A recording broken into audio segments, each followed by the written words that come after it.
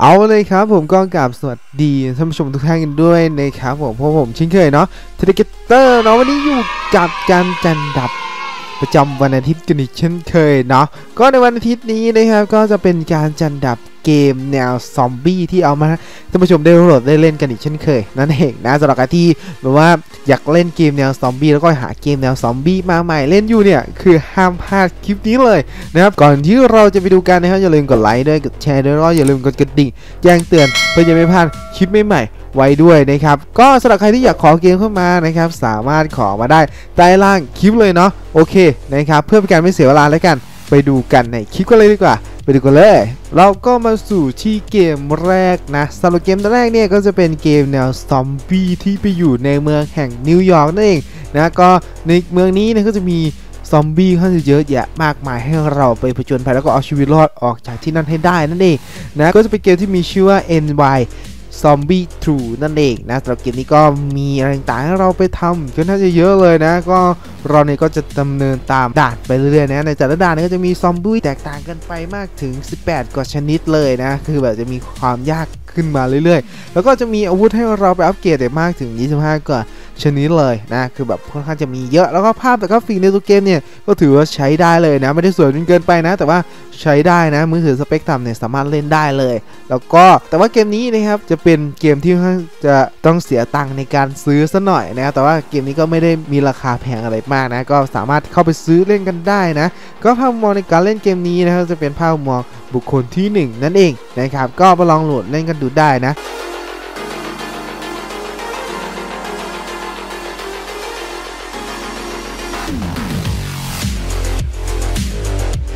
สำหรับเกมที่2เนี่ยก็จะมีชื่อว่า Zombie Conspiracy นั่นเองนะสำหรับเกมนี้ก็จะเป็นเกมที่ยิงซอมบี้มันๆ เล่นเพลินๆที่เราสามารถเล่นได้ยาวๆได้นั่นเองนะในการเล่นเกมนี้ก็คือเล่นเป็นด่านเป็นแบบ wave ๆไปนะในแต่ละ chapter นะครับในแต่ละ chapter นี่ก็จะมีความยากแต่ละตัวซอมบี้ไปนะแล้วก็ภาพกราฟิกในตัวเกมนี้นะครับจะเป็นภาพออกสไตล์ The Walking Dead นะคือมันจะออกแนวลายเส้นการ์ตูนหน่อยๆนั่นเองนะครับก็เราเนี่ยก็สามารถเข้าไปร้องโหลด หรือว่าลองเล่นกันได้นะเป็นเกมที่สนุกอยู่เหมือนกันนะเล่นมันเพลินเล่นแก้เหงากันได้ ภาพมองในการเล่นเกมนี้นะครับก็ยังคงเป็นภาพมุมมองบุคคลที่ 1 อยู่เหมือนเดิมนะครับก็ไปลองโหลดเล่นกันดูได้นะสำหรับเกมนี้เนาะ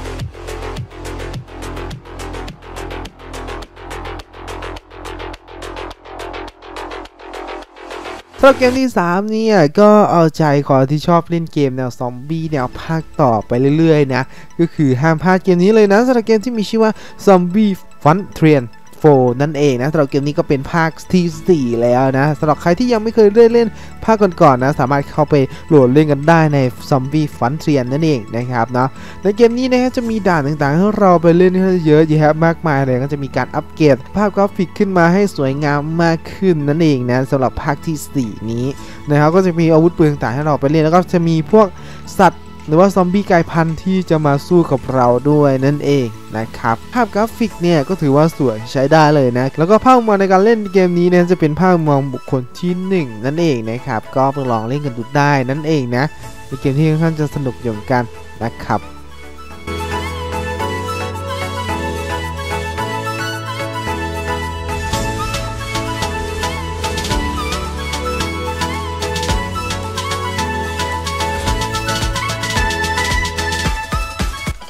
โอเคนะครับเราก็มาอยู่ที่เกมที่ 4 นะสโตรเกมที่ 4 เนี่ย ก็ใจคนที่ชอบเล่นเกมแนว Open World แล้วก็อยากหาเกมแนว Open World ผสมแนวสไตล์ ซอมบี้เล่นอยู่เนี่ยคือห้ามพลาดเกมนี้เลยนะสำหรับเกมที่มีชื่อว่า Sandbox City นั่นเองนะสำหรับเกมนี้ก็เป็นเกมประมาณว่าเราเนี่ยอยู่ในเมือง แห่งหนึ่งจะมีซอมบี้เนี่ยมาคอยกัดกินคนอยู่เนี่ยเราก็ต้องขี่รถชนซอมบี้หรือว่าชกต่อยซอมบี้ให้ตายนะก็คือถ้าเราไม่ทำอะไรเลยนะครับคนในเมืองก็จะกลายเป็นซอมบี้จนหมดนั่นเองนะครับนะเกมนี้ก็เป็นเกมที่ค่อนข้างจะปล่อยให้อิสระในการเล่นที่ค่อนข้างจะมากเลยนะคือเราเนี่ยไม่ต้องทำเควสก็ได้เราสามารถขี่รถเล่นหรือว่า ทำอะไรต่างๆ ได้ตามใจเราชอบได้เลยนะเป็นเกมที่ปล่อยให้อิสระมากๆ แล้วเกมนี้นะครับจะเป็นภาพแนวออกสไตล์แนวโพลีกอนนะก็คือแบบภาพเนี่ยอาจจะไม่กินสเปคเท่าไหร่ภาพมุมมองในการเล่นเกมนี้นะครับจะเป็นมุมมองบุคคลที่ 3 นั่นเองนะครับก็ไปลองเล่นกันดูได้นั่นเองนะ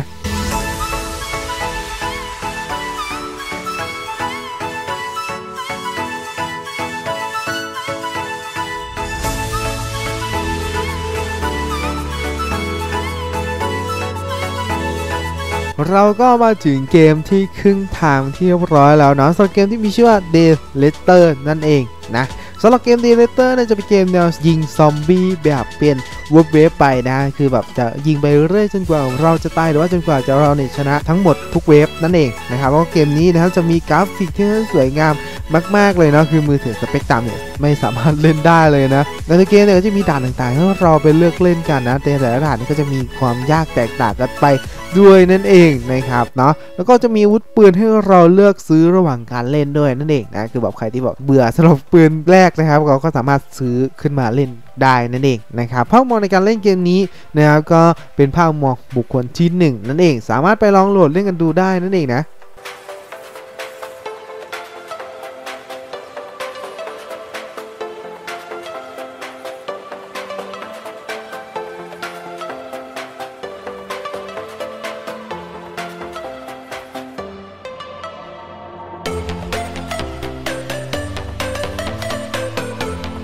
ำหรับเกมที่ 6 เนี่ย ก็จะเป็นเกมภาคต่อแนวซอมบี้อีกแล้วนะสำหรับเกมที่มีชื่อว่า Zombie Defense True Episode นั่นเองนะ ก็สำหรับเกมนี้นะครับก็จะเป็นเกมภาคต่อที่มีเนื้อเรื่องประมาณว่ารัฐบาลของเกาหลีเหนือเนี่ยได้สร้างหน่วยลับในการพัฒนาอาวุธชีวภาพนั่นเองนะครับ แล้วก็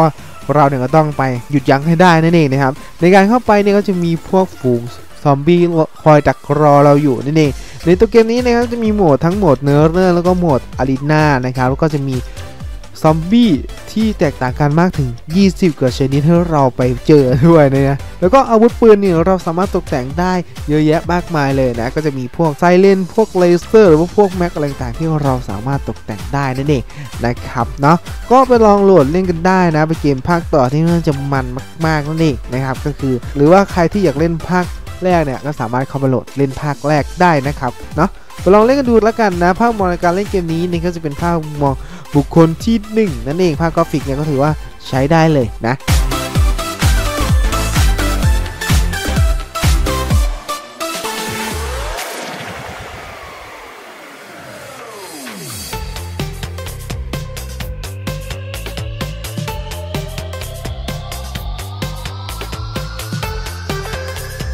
เราก็มาอยู่ที่เกมที่ 7 นะสำหรับเกมที่มีชื่อว่า Road to Death นั่นเองนะสำหรับเกม Road to Death เนี่ยจะเป็นเกมแนวเอาชีวิตรอดจากฝูง ซอมบี้กันอีกแล้วนะครับก็คือเกมนี้นะครับก็จะเป็นเกมยิงผ่านด่านไปเรื่อยๆ นั่นเองนะก็ในตัวเกมเนี่ยก็จะมีภาพที่ค่อนข้างสวยงามมากๆเลยนะมือถือสเปคตามนี้มันสามารถเล่นได้แน่นอน เพราะว่ามันค่อนข้างจะกินสเปคระดับหนึ่งเลยนะครับแล้วก็ในตัวเกมเนี่ยก็จะมีอาวุธต่างๆให้เราไปเลือกเล่นกันนะก็จะมีพวก U SP UAK 47หรือว่าพวกปืนไรเฟิลปืนลูกซองอะไรต่างๆที่มีในเกมซอมบี้นั่นเองมันจะมีการอัปเกรดอาวุธแล้วก็ปรับแต่งสกง skin ได้ด้วยนั่นเองนะ คือเป็นเกมที่ค่อนข้างจะมีลูกเล่นอะไรต่างๆค่อนข้างจะเยอะ แล้วก็ด่านเนี่ยก็จะมีค่อนข้างจะให้เราเล่นค่อนข้างเยอะเลยนะครับเนาะไปลองเล่นกันดูได้นะเป็นเกมที่ให้สนุกภาพมุมมองในการเล่นเกมนี้ก็จะเป็นภาพมุมมองบุคคลที่ 1 นั่นเองนะครับไปลองเล่นกันดูแล้วกันนะ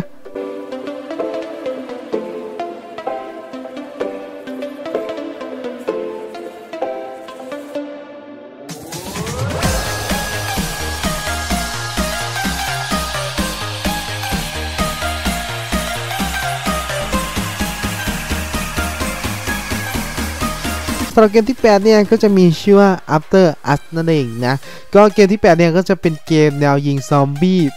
แบบเป็นเว็บๆกันอีกแล้วนะ ก็จะเกมนี้ก็จะแบ่งเป็นวันไปนะครับ ในแต่ละวันเนี่ยก็จะมีซอมบี้เพิ่มขึ้นเรื่อยๆเนาะก็คือถ้าเราอยู่นานซอมบี้ก็จะยิ่งเยอะขึ้นเรื่อยๆนั่นเอง แล้วก็กราฟิกในตัวเกมนี้นะครับก็จะเป็นแนวสไตล์ Sandbox หรือว่าแนวสไตล์ Minecraft นั่นเองนะ จะเป็นออกแนวเหลี่ยมๆ แต่ว่าตัวเกมเนี่ยสามารถเล่นมันๆเล่นเพลินๆได้นะ เป็นเกมที่ว่าสนุกมากๆ แล้วก็เกมนี้มีปืนอะไรต่างๆที่ค่อนข้างจะเยอะแยะมากมายเลยให้เราไปเลือกเล่นด้วยนั่นเองนะครับเนาะก็มาลองเล่นกันดูได้นะภาพกราฟิกในตัวเกมเนี่ยก็จะออกแนวสไตล์ sandbox นั่นเอง แล้วก็ภาพมุมมองในการเล่นเกมนี้นะครับก็จะเป็นภาพมุมมองบุคคลที่ 3 นั่นเองนะครับ ก็มาลองเล่นกันดูแล้วกันนะ ปืนก็มีให้เราเลือกค่อนข้างจะเยอะเลยนะครับ เนาะ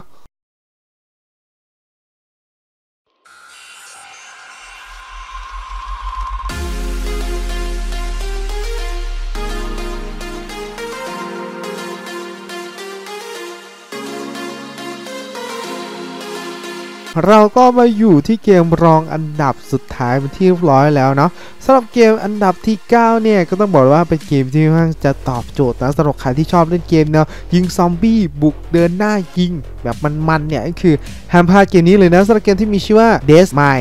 Offline นั่นเองนะสำหรับเกมนี้นะครับจะเป็นเกมที่ค่อนข้างจะ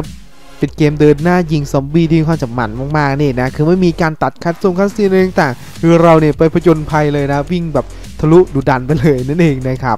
เนาะแล้วเกมนี้นะครับก็จะแบบว่าเราเนี่ยจะออกไปผจญภัยเพื่อไปหาของหาของเพื่อเอาชีวิตรอดใน 49 วันให้ได้นั่นเองนะครับเนาะแล้วก็ในการหาของเนี่ยก็จะมีอาวุธ drop ต่างๆ ที่ drop มาให้เราเนี่ยค่อนข้างจะเยอะเลยนะครับเราก็จะไปหาของที่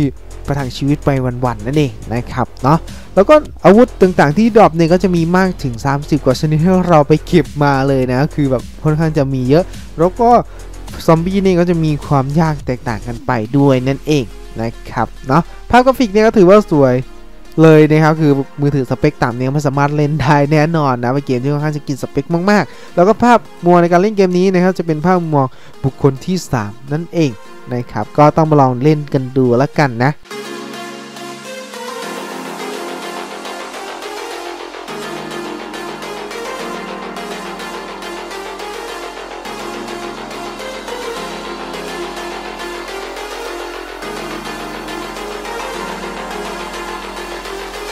เราก็มาอยู่ที่เกมสุดท้ายที่เรียบร้อยแล้วนะสำหรับเกมที่มีชื่อว่า Zombie Dying Island นั่นเองนะสำหรับเกมนี้นะครับก็เป็นเกมแนวยิงซอมบี้ผ่านด่านไปเรื่อยๆนั่นเองก็จะมีเนื้อเรื่องประมาณว่ามีการทดลองลึกลับทำให้เกิดโรคระบาดที่ทำให้มนุษย์เนี่ยกลายเป็นซอมบี้นั่นเองนะครับแล้วเราเนี่ยก็ต้องเอาชีวิตรอดออกไปให้ได้นั่นเองนะครับในการเอาชีวิตรอดในตัวเกมนี้นะครับก็จะมีตัวละครให้เราเลือกมากถึง 10 กว่าคนเลยนะ เราสามารถเลือกตัวละครมาเล่นได้นั่นเอง แล้วก็อาวุธในเกมนี้นะครับมีมากถึง 15 กว่าอาวุธให้เราไปจัดการ ซอมบี้เลยนั่นเองนะก็จะมีโหมดต่างๆ ให้เราไปเล่นก็จะเป็นโหมดเขตอุตสาหกรรม แล้วก็เป็นโหมดซุ่มโจมตีนั่นเอง ก็จะมีมากถึง 20 กว่าภารกิจให้เราไปเล่นกันนั่นเองนะก็เป็นเกมที่ค่อนข้างจะเล่นมันๆเล่นเพลินได้นะภาพกราฟิกก็ถือว่าใช้ได้เลยนะแต่ว่าไม่ได้สวยจนเกินไปเนาะแล้วก็ภาพมุมมองการเล่นนะครับก็จะเป็นภาพมุมมองบุคคลที่ 3 นั่นเองนะครับ ก็ไปลองเล่นกันดูได้นั่นเองนะ